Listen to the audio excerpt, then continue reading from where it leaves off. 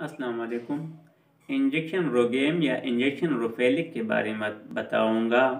ये कब लगाए जाते हैं और किन को लगाए जाते हैं? उम्मीद है आप वीडियो आखिर तक देख लेंगे।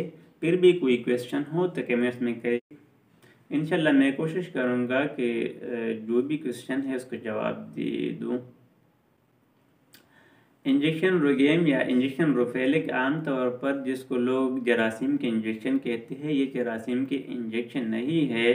ये अगर किसी औरत या माँ की ब्लड, खून की ग्रुप आर एच नेगेटिव हो और उसके बच्चे के खून ग्रुप आर एच पॉजिटिव हो तो आम तौर पर हमल की अट्ठाईसवें हफ़्ते में इंजेक्शन रुफेलिक या इंजेक्शन रुगेम लगाए जाते हैं और हमल के और बच्चे की पैदाइश के बाद बहत्तर घंटों में ये इंजेक्शन लगाए जाते हैं माँ को, ताकि आने वाले बच्चों को मुश्किल से बचाए जाए, बचाया जा सके। इसके अलावा कुछ और हालत है जिसमें, इसमें भी इंजेक्शन रोगेम लगाने की ज़रूरत पड़ सकती है, जिसमें अगर बच्चा ज़ाया हो जाए तो इसमें मुख्तलिफ़ बातें हैं। अगर बच्चा ख़ुद ब खुद ज़ाया हो जाए, उसमें दर्द ना हो और बारह हफ्तों से कम हो तो इसमें तो फिर ज़रूरत नहीं होती रोगेम लगाने की। लेकिन अगर दर्द ज़्यादा हो या खून ज़्यादा बह जाए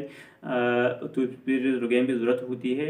इसके अलावा अगर बच्चा ज़ाया किया जाए दवाइयों की दवाइयों की वजह से या अगर ई एन सी या डी एन सी या और तरीके से तो फिर भी इंजेक्शन गेम लगाने की ज़रूरत हो हो सकती है।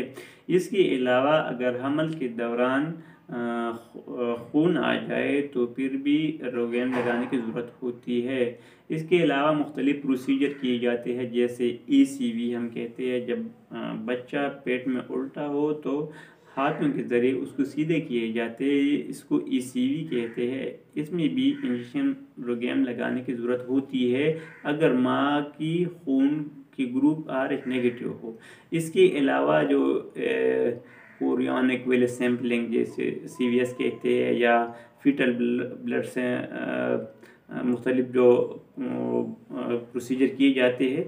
इसमें भी इम्कान है कि बच्चे का खून ग्रुप माँ के जिसम में चला जाए तो इस दौरान भी इंजेक्शन रोगेम लगाने की ज़रूरत पड़ सकती है। ये इंजेक्शन रोगेम लगाना क्यों ज़रूरी है?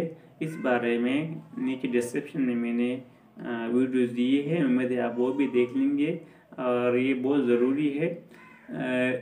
ये इस बच्चे के लिए ज़रूरी नहीं है, ये आने वाले बच्चों के लिए ज़रूरी है, क्योंकि ये जो एंटीबॉडी बनते हैं, ये पहले आई जी एम एंटीबॉडी बनती है जो I G M placenta cross नहीं कर सकती, ये इस बच्चे को नुकसान नहीं पहुँचा सकती, लेकिन बाद में ये आई जी एम एंटीबॉडी आई जी जी पे कन्वर्ट हो सकती है और आई जी जी एंटीबॉडी पर प्लासेंटा को क्रॉस कर जाती है और जो दूसरा बच्चा है, होते हैं, उसके लिए मुख्तलिफ़ सबब मुश्किल के सबब बन सकते हैं।